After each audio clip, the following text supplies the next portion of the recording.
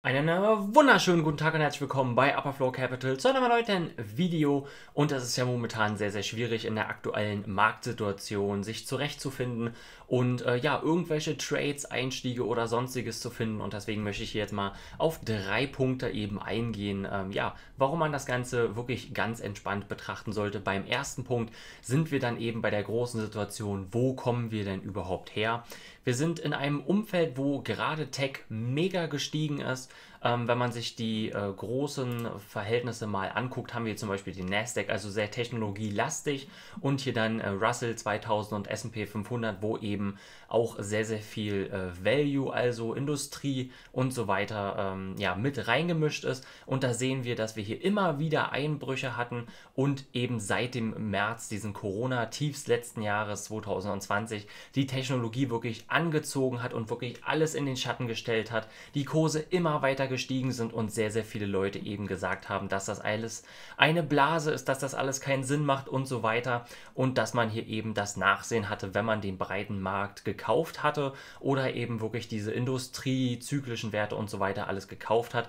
Aber wie wir eben in der Vergangenheit immer wieder gesehen haben, es gab immer wieder kleine Einbrüche, Seitwärtsphasen und so weiter. Und auch in jüngster Vergangenheit hatten wir hier im September, Oktober zum Beispiel eine Korrektur von über 13 Prozent. Dann im Februar erst kürzlich von über 11 Prozent und jetzt sind wir gerade mal hier so bei den 7,5 Prozent. Das heißt, das sollte man alles erstmal ganz entspannt sehen. Und das kann hier durchaus noch schlimmer werden. Aber wenn man sich das ganze große Bild eben anguckt, muss man eben sehen, dass wir hier wirklich grandios und heftig nach oben gelaufen sind und eben auch aus einer Situation kommen, wo äh, solche Aktien wie Tesla eben ja über 1000 Prozent gemacht haben innerhalb von einem Jahr und auch solche äh, Aktien wie PayPal, die wirklich ganz entspannt immer allmählich hochgelaufen sind, sich alle drei, vier Jahre höchstens verdoppelt haben, jetzt innerhalb von einem Jahr eben verdoppelt haben. Und das ist dann eben nicht gesund, nicht von großer Dauer. Und deswegen finde ich diese Seitwärtsphasen bzw. Korrekturen,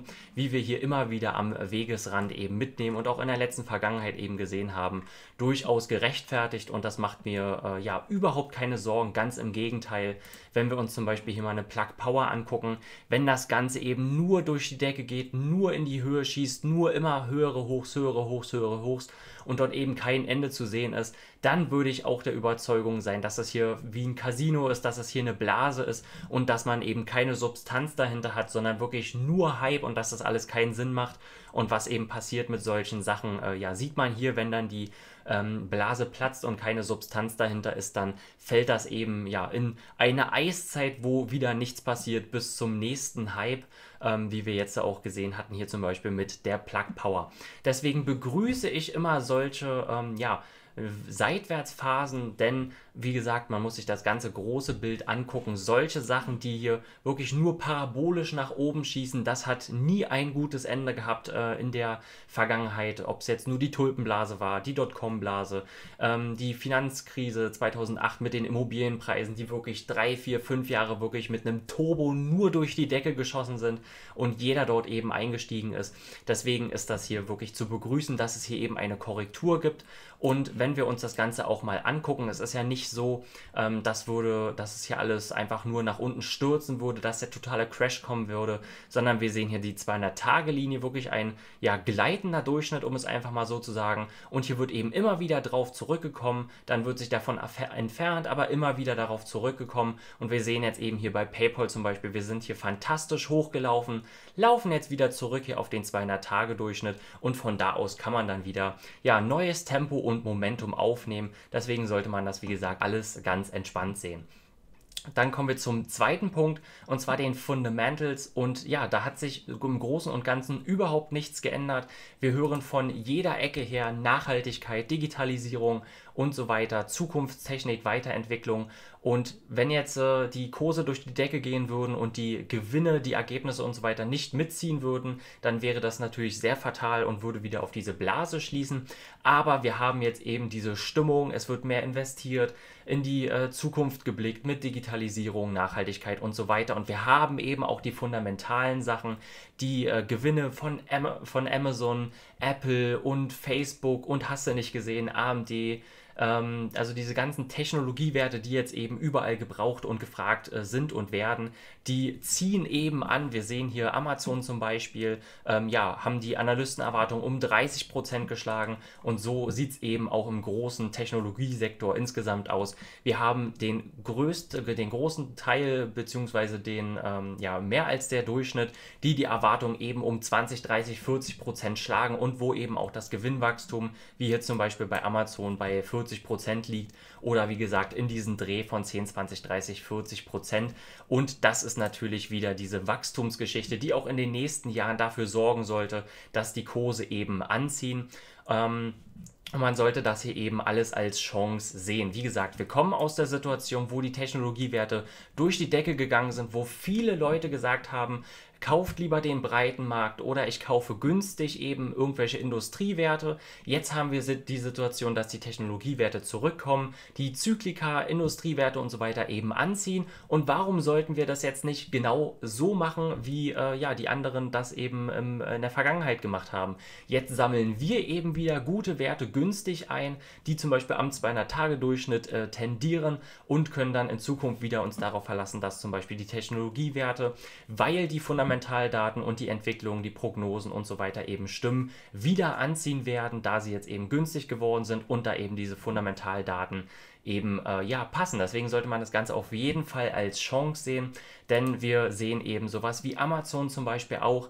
Die sind eben eine innovative Firma, die das Leben von vielen Leuten verändert und verbessert hat, die einen gigantischen Mehrwert bietet und wo eben auch die fundamentalen Daten Umsatz und Gewinn zum Beispiel stetig steigen und ja, wie man hier eben sieht, auf lange äh, Zeit gesehen, wenn eben ein Mehrwert geboten wird, die Firma sich weiterentwickeln kann, Gewinn und Umsatz eben steigen, wird langfristig zu 100% der Aktienkurs steigen. Und ja, wie gesagt, bei Amazon auch nochmal als Beispiel, wir hatten hier immer wieder kleine Einbrüche, Seitwärtsphasen, aber dann ging es immer wieder nach oben.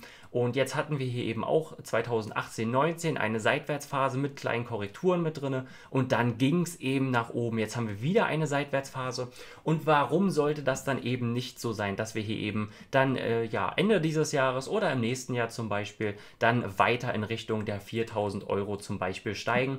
Denn die fundamentalen Sachen und die Geschichte und so weiter stimmt auf jeden Fall. Deswegen sollte man sich hier im dritten Punkt ganz einfach entspannt zurücklegen, mal ein bisschen in sein Portfolio gucken, gucken, wo stimmt die Wachstumsgeschichte, wo ähm, ja, ist für mein Portfolio, für meine Strategie dann überhaupt noch der ähm, ja, Anhaltspunkt, wie möchte ich weiter fortfahren. Man kann sich dann hier durch die Märkte, durch die Gewinner und Verlierer zum Beispiel mal durcharbeiten, kann hier und da äh, sich Werte angucken, Analysen betreiben, Recherchen betreiben, gucken, was möchte ich aufsammeln, was möchte ich eventuell loswerden, wo möchte ich umschichten und so weiter. Und wie gesagt, einfach mal diese Marktphasen nutzen, um ganz entspannt nachzudenken, wie möchte ich in äh, Zukunft verfahren, wie sehen die äh, Geschichten aus für die Zukunft, was könnte sein, was könnte nicht sein und sich dann eben zu entscheiden, wie man sich positionieren möchte. Und wie gesagt, ganz entspannt an die Sache rangehen. Wir hatten hier immer wieder die Situation, ähm, ja, dass auf dem Weg eben Korrekturen drinne sind. Und deswegen sollte man hier, wie gesagt, ganz entspannt an die Sache rangehen, denn wenn man hier eben rauszoomt, da gibt es ja auch dieses äh, Sprichwort irgendwie, when in doubt, äh, zoom out ähm, ja, sieht man hier eben, dass es langfristig eben doch nach oben geht und man sich eben von diesen Tagen und Wochen, wo es dann eben mal regnet, sich nicht beirren lassen sollte. Gut, das soll es dann auch schon wieder gewesen sein. Vielen Dank fürs Zuhören und bis zum nächsten Mal.